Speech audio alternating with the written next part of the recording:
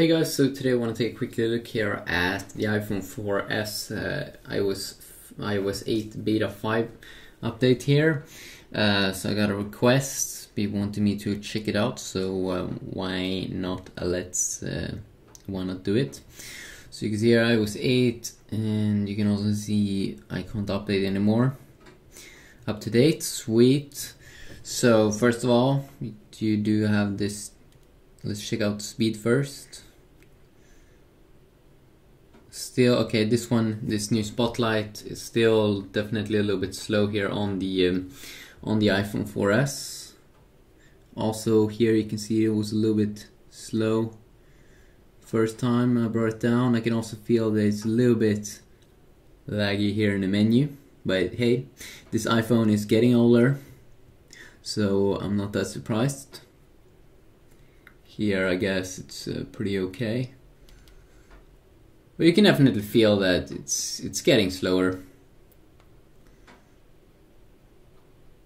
But it's definitely usable. Uh, you do have this new iCloud icon I guess in here. Yeah, iCloud here, new icon. I think that's new icon.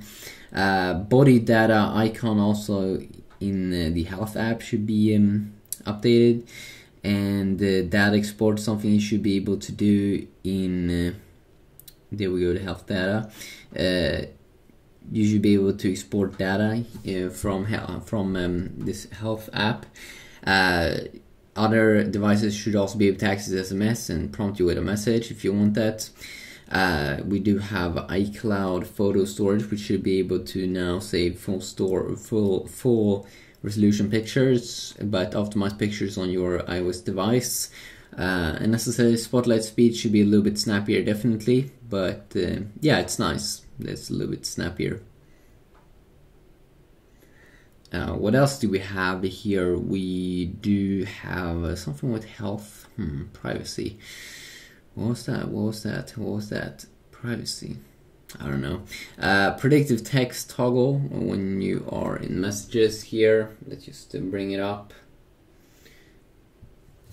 So should be able to hold in here and you can see you have a quick toggle here for predictive text. My bad.